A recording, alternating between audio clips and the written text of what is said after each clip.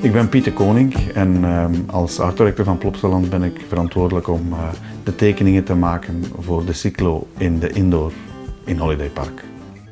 Ik be begin eigenlijk met de twee samen te tekenen.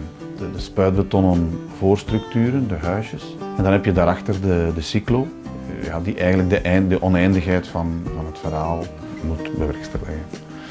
Ik kijk naar welk beeld wil ik verkrijgen en dan nadien zeg ik van oké, deze dingen, uh, dat bos, dat gaan we niet maken, dat is veel te duur, dat gaan we gewoon tekenen op de cyclo. Uh, maar dat huisje gaan we wel naar voren halen. En zo kan je met diepte werken. Door heel flexibel met zo'n cyclo te werken, kan je de, de decors die je hebt een, een ongelooflijke uh, rijkdom geven. En, en, ook nog eens in een omgeving zetten. Maar dit is dus eigenlijk, eerst heb je een, een, een schets gemaakt, dan gaat er iemand in 3D die, uh, die, dingen, die volumes zetten.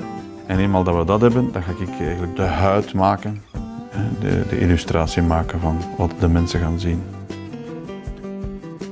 Het mooiste moment is effectief als alle dingen samenkomen. Als je zowel de, de decor, de attracties ziet werken, maar dan ook zeker de doeken er zijn. Dat is, eigenlijk wel het leukste moment. Dat je de illustratie kan overschouwen van oké, het zit goed.